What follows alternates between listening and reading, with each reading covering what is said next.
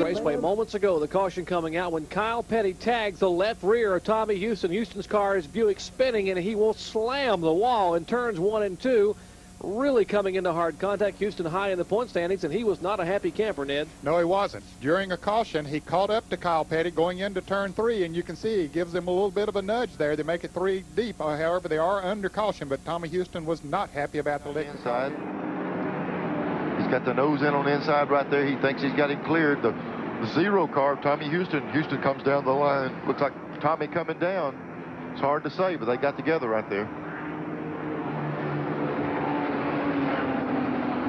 Luckily enough, no one else got in. Getting loose right now. You see the back end starting around on the car. As he comes around, everybody behind him is just a victim. Seth Benson, who was close enough to get through. And you see Sawyer get into Labonte, turn yep. Labonte. Up and over goes LaJoie. Riser hits the outside wall.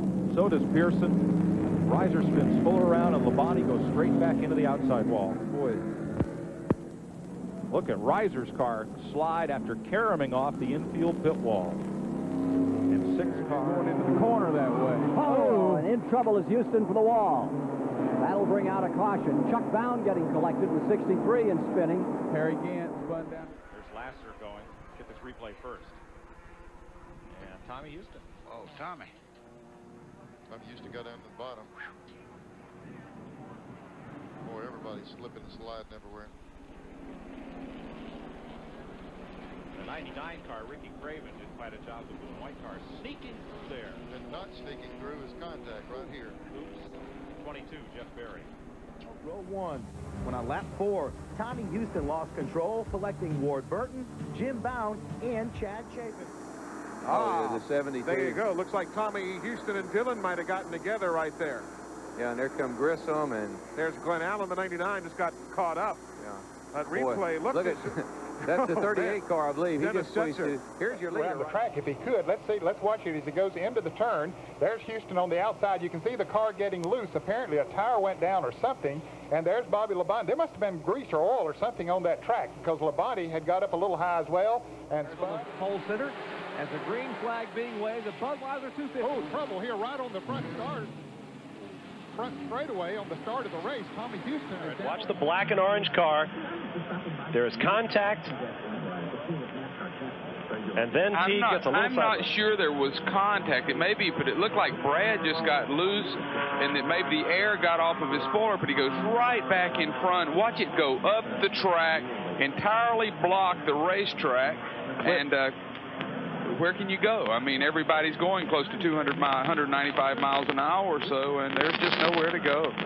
Pick your favorite. There's a lot of them in there in this 13-car wreck. Darrell Waltrip, after he got clipped, he got together with Kenny Schrader. In this mess, Tommy Ellis, Kyle Petty, Rick Mast, Michael Waltrip, Jack Ingram, many of the top stars of this race. Jeff Purvis in there, Chuck Bown, Frank Fleming, who was making his first start in this race. Dave Rezendes is in there as well. You have traffic out there beforehand. Let's, Let's look, look at what happened here. Coming oh, through turn four. Yeah, he got a little bump. the 51 car got a bump from uh, that uh, who that red and white car there is. Might I be Jeremy tell. Mayfield, perhaps. But he got a little little tap there. Boy, here they come too. Whoa, he's a setting duck, and you believe that he uh, got hit right at the end. A lot of contact. They're looking at Mike Wallace right now. Safety crew on the scene. Tell you what happened. Look how straight he's going, Mike. I saw him when he entered the third turn. The car never slowed down, and he actually cut that corner cross. And I mean, he went straight. Watch the car right now. The right front's gone, and he's headed right down that inside concrete wall.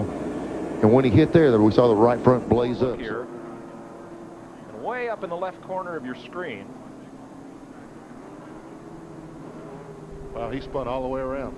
And there is Bobby Labonte, the red car. He was in it. Yep. So the three cars all spun.